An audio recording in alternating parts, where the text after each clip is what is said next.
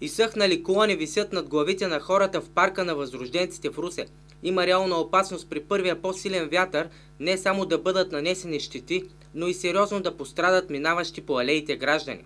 Кмета се интересува само от центъра, а ние сме центъра, само минете за този блок, за този блок. Детската площадка абсолютно не е погледната.